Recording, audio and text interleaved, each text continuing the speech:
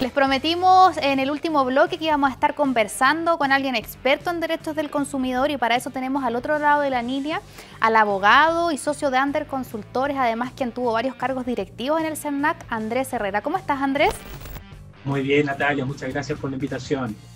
Andrés, eh, queríamos conversar contigo un poco qué es lo que está pasando en materia de derechos del consumidor y para eso un tema muy interesante es que nos ayude un poquito a hacer un diagnóstico eh, con todo lo que tiene que ver con el e-commerce y una forma distinta de relacionarnos con las empresas. Parece que las reglas del juego están cambiando o cambiaron de un momento a otro y el consumidor de repente está medio perdido respecto a qué derechos puede y no puede exigir en esta, en esta pandemia. Eh, ¿Cómo lo ves tú un poquito este escenario, Andrés? Bueno, efectivamente, Natalia, como tú bien lo dices, a, partir eh, de, esta pandemia que nos ha afectado en todos los ámbitos de la vida, eh, por supuesto, la relación entre los consumidores y, los, eh, em, las empresas, en definitiva, ha tomado nuevos, nuevos rumbos y efectivamente estamos sobre paradigmas que probablemente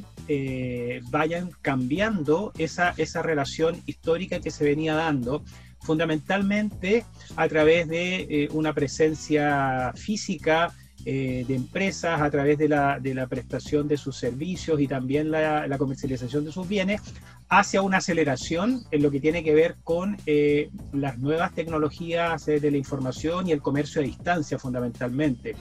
Pero además la pandemia ha traído como consecuencia también nuevas problemáticas que no se habían presentado, por cierto, con anterioridad como tienen que ver, por ejemplo, con eh, la protección de la salud y la seguridad de los consumidores respecto particularmente de aquellas tiendas eh, que todavía han mantenido eh, sus, sus, lugares de atención presencial. Entonces hay, hay problemáticas a propósito de esta pandemia que han surgido, otras se han profundizado eh, y otras, la verdad es que todavía eh, el ecosistema del consumidor todavía no, eh, no tiene una solución muy clara de cómo abordarlas.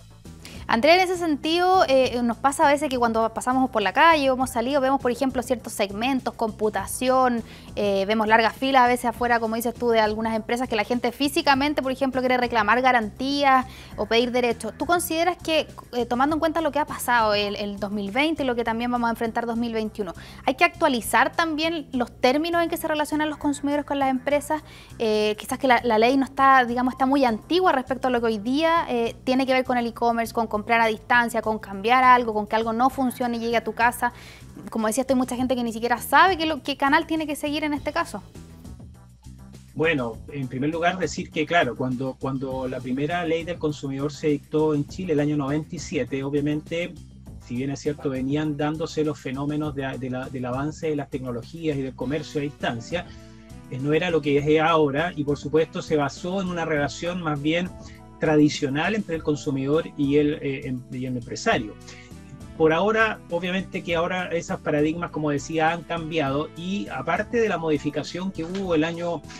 2018 eh, de la ley, eh, que ya todos he sabido que, que, tuvo alguna, algún paso por el Tribunal Constitucional, que, sacó algunas facultades del CERNAC, pero aún así lo fortaleció, evidentemente que eh, se requeriría una nueva mirada de la legislación actual eh, para eh, ponerse primero en un escenario que probablemente no vaya hacia atrás, sino que avance respecto de lo del comercio a distancia y todas las relaciones que se van a dar y que se van a, van a quedar probablemente entre nosotros, incluso después que termine la pandemia.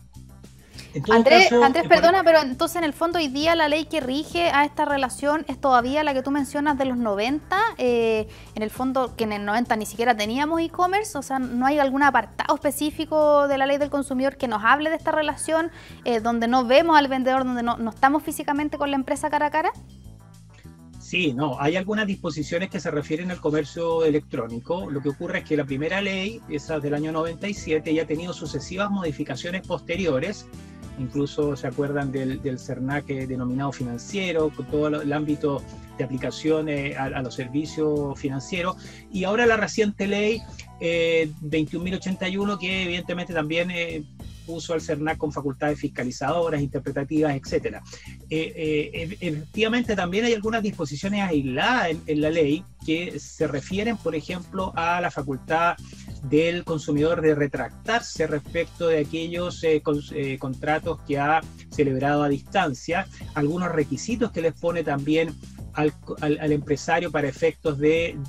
acreditar que el consumidor ha dado su consentimiento en, en contratos a distancia, etcétera. Hay una serie de normas, pero esas normas probablemente en su, en su, en su relevancia dentro de la ley eh, no son las suficientes atendido el actual contexto. Y, lo que quería además señalar es que la autoridad, en este caso el Ministerio de, Economía, conjuntamente con el CERNAC, eh, están eh, promoviendo un reglamento de comercio electrónico que tiene un rango inferior a la ley. y ahí se establecen, y eso está en el trámite de razón en la Contraloría, respecto de algunas obligaciones más específicas que van a tener las empresas que proveen servicios a través del comercio electrónico, como la información que tienen que proveer a los consumidores, cómo van a realizar las promociones de oferta, todo lo que tiene que ver con los términos y condiciones, su política de despacho, de cobertura geográfica, etcétera. Es decir, un conjunto de obligaciones que no están expresamente contempladas en la ley y que se van a establecer, así lo desea la autoridad, a través de un reglamento. Andrés, ¿tú crees que en el futuro, y a lo mejor no pensemos a 10 o 20 años, sino en el corto plazo, deberíamos tender a regulaciones eh, para el consumidor más fáciles? Pongamos un ejemplo simplista, pero en Estados Unidos cuando no te gusta algo puedes llevarlo y devolverlo en una tienda sin tener que eh, dar tantas explicaciones simplemente porque no te gustó. Hoy día eso se ha tratado de implementar en Chile, pero todavía es difícil. Eh, ¿Crees que en el fondo hay que apuntar a esta como facilidad de las relaciones, en que la empresa entienda que eso también es mejor para ellos desde el punto de vista normativo y no negativo? hoy, día se ve como negativo cuando tú en el fondo vas a cambiar o exigir una garantía. Hay como una sensación de, te diría, como de incomodidad de ambas partes. No, absolutamente, totalmente de acuerdo con lo que dice. Yo creo que este, esta situación de pandemia que ha obviamente afectado a muchas empresas y otras la ha puesto en una situación que no se habían eh, imaginado probablemente, eh, es una tremenda oportunidad también, no solo para reinventarse en aquellos sectores que han sido más afectados, sino que también para establecer nuevos eh, paradigmas de relación con el consumidor. Y eso significa no solo asegurar el mínimo de la ley, porque eso evidentemente es lo que se espera de cualquier de cualquier persona o empresa que se sujeta se sujete al orden jurídico, sino que también implemente muy buenas prácticas, eh, eh, tomando como ejemplos eh, situaciones o empresas en el extranjero que efectivamente otorgan como tú bien lo decías, por ejemplo, esas garantías de satisfacción, que, bueno, de hecho se implementan en Chile con algunas restricciones, pero me refiero a política de satisfacción en el sentido de que devuelvo algo porque no me gustó o sencillamente porque lo quiero devolver y no hay ningún tipo de obstáculo. ¿Por qué? Porque ese consumidor que hace, que, recibe ese trato de la empresa, probablemente siga comprando en esa tienda y finalmente sea aún más fidelizado eh, por esas políticas. Entonces, efectivamente es una tremenda oportunidad para que las empresas desarrollen modelos que permitan poner eh, total y absolutamente en el centro al consumidor con todas sus necesidades eh, y, considerando todas las demandas que eh, los consumidores que tienen ahora cada vez más empoderados respecto de sus derechos. Andrés, para finalizar, quiero un, consejo que nos des cortito, porque sé que estás muy metido en ese ambiente, pero a los emprendedores, que hay muchos que están lanzando e-commerce, eh, haciendo páginas web, pero que de repente no están formalizados. ¿Qué tan importante para estos empresarios, pequeños empresarios, es, eh, tú me explicabas una vez, poner los términos de la relación con el consumidor, a lo mejor aunque no sean empresas formales, aclarar un poquito ese, ese campo? ¿Qué consejo le darías? Bueno, primero que todo, que, eh, se preocupe mucho en su relación con el consumidor, por muy pequeño que sea el emprendimiento o grande que lo sea. Eh, si se hace un, eh, digamos, una comercialización de servicios o bienes a distancia, obviamente aquí estamos en presencia de un contrato. Lo que pasa es que el contrato no se firma, no se ve, pero es un contrato de adhesión que le formula el proveedor al cliente y el cliente no le queda sino aceptar la, forma en que le va a entregar el bien, eh, los plazos comprometidos, y eso el consumidor perfectamente puede eh, exigirlo. Entonces, en la medida que eso sea conocido y debidamente informado a través de términos y condiciones que estén disponibles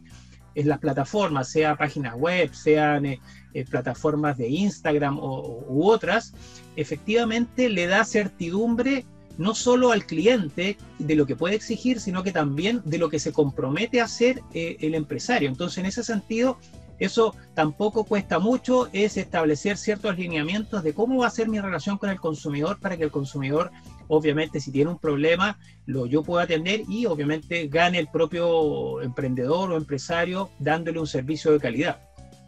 Andrés, entonces entre más claro mejor, nos quedamos con esa, con esa consigna. Te quiero agradecer y espero que a lo largo del año vuelvas a acompañarnos aquí en Consumo Cuidado para hablar de temas del, del consumidor. Muchas gracias.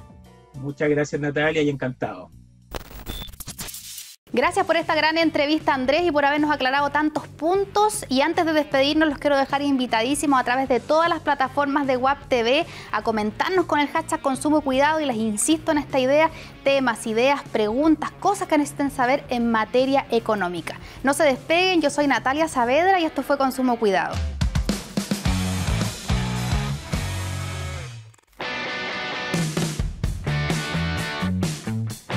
Natalia Saavedra y quiero invitarlos a sintonizarnos todos los días en Consumo Cuidado, un nuevo espacio económico donde vamos a conversar todos los temas que quieran sugerirnos. Se los vamos a explicar de manera ágil, sencilla y amena. No nos dejen de sintonizar todos los días en WAP TV.